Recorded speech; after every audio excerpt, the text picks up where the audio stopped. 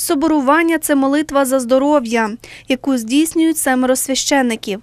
У Зарваниці чин соборування відповідно до декрету митрополита Тернопільсько-Зборівської архієпархії Кир Василія Семенюка проводять кожної другої п'ятниці місяця.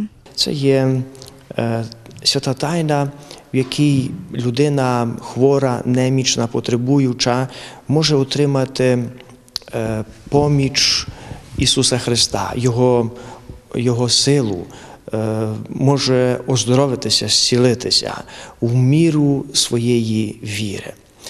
Бачите, тому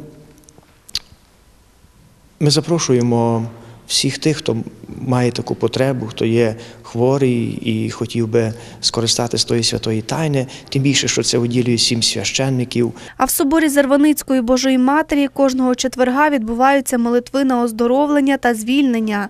Проводить їх екзорцист Тернопільсько-Зборівської архієпархії отець Зіновій Похолок.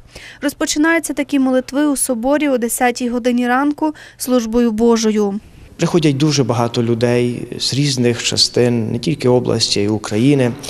І багато є свідчень, що оздоровилися, свідчень про те, що це допомагає. Е, Тому, хто має таку потребу, запрошуємо. Молитви на оздоровлення та звільнення відбуваються і в парафіяльній церкві Пресвятої Тройці та Покрови Пресвятої Богородиці в Зарваниці.